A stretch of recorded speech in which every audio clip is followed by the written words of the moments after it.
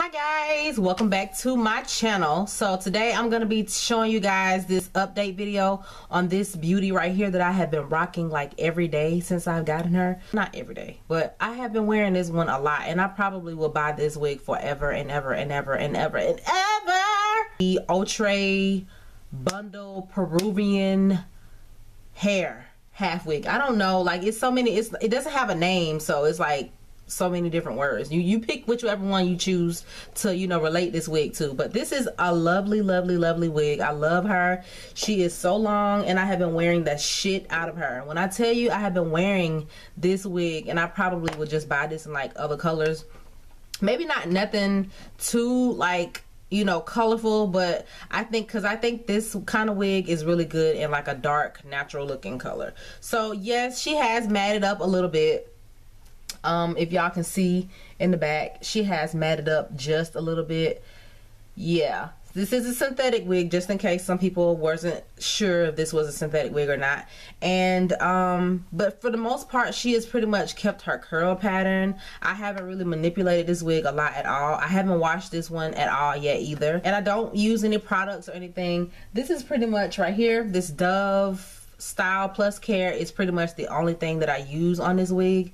And that is just pretty much to kind of like hold it in place and to keep it voluminous like like it is now. When I tell you you when when I tell you your synthetic wigs can last a whole lot longer if you do like whenever you're not wearing them make sure they're make sure that they're like in a mannequin on a mannequin head or in like a bag or you know some place where it's not the fibers can't rub against something else. Because I know that I have a really bad habit of just throwing my wigs in a corner when I don't want to wear them or when I'm not wearing them and they don't last as long. So I've noticed that since I've actually been putting this one on a mannequin head when I'm not wearing her she lasts way longer and it does like keep the natural curl pattern. The curl pattern doesn't go all crazy and doesn't you know it doesn't do any kind of manipulation to the wig. It's just sitting there in a safe place. If you want to buy something and you're trying to like stay within your budget and you want it to last longer, that is definitely a great way to keep everything maintaining long. As far as shedding, I haven't noticed any shedding. I mean, I guess because I don't really comb this wig. I don't comb it. I don't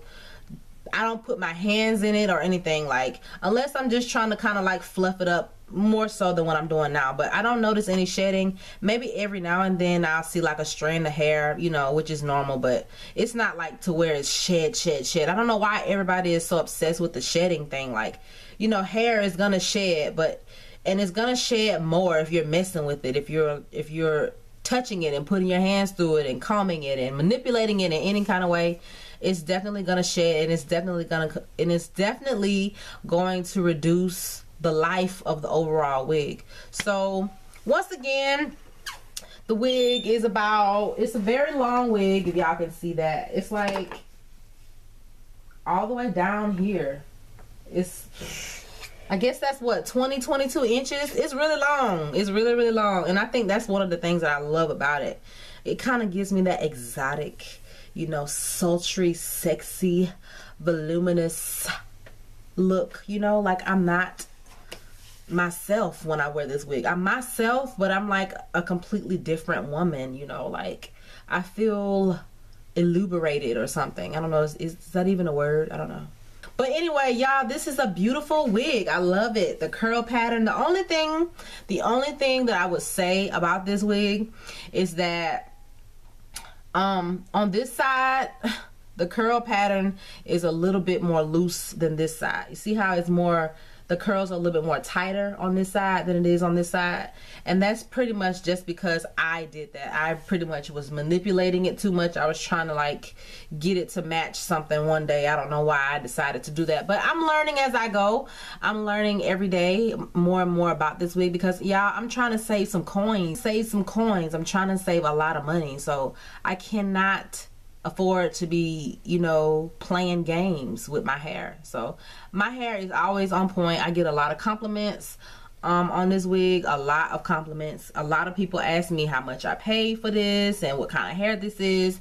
And I gladly, gladly tell them that this is synthetic hair. It's not about the kind of hair. It's basically how you make it work for you. You have to make it work for you. You can't just put it on your head and expect it to look you know, gorgeous and off the chain. You got to like work with it. And that's kind of something that I had to learn because I have spent so much money, so much money trying to keeping up with the Joneses, with this, all these different types of wigs and hair. And it's like at some point you just really get tired of buying hair.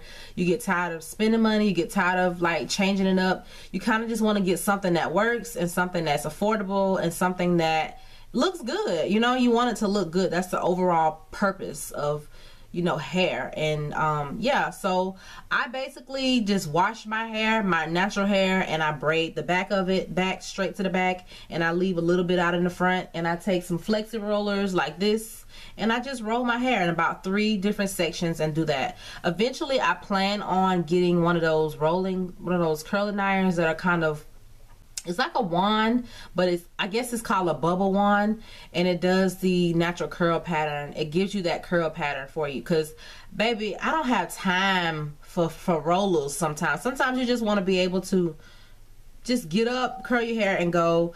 And with this i kind of just have to if i don't put this in my head before i go to bed at night i would not have the curl pattern that i need to wear this wig. So if you don't see me wearing this wig, if you follow me on Snapchat, um, it's most more than likely because I didn't curl my hair. My hair wasn't curled. So that's the only thing. I don't really have an issue with heat damage or anything like that because I do flat iron my hair a lot. But I do, I have noticed that um, in the front, my hair is a little bit more pressed, if that makes sense. Like it's more, it's pressed. I can't explain it.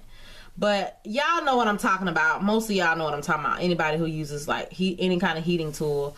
But I just use a lot of oil. I put a lot of oil. I know this oil, this wild growth oil, is really popular and it actually is really really good this is like my second time buying it it's almost time for me to get another bottle but this is really good for um it's not only good for growing your hair but it's really good for uh, if you use a lot of heating, like like a lot of heating tools. Because let's just be honest, you know, we just sometimes we just can't get away from using heating tools. I mean, that's just the reality. most part, you guys, I love this hair. I will probably buy like two more of these whenever I can whenever it's time for me to get another one. But I love this hair and this is probably something that's always going to be in my collection.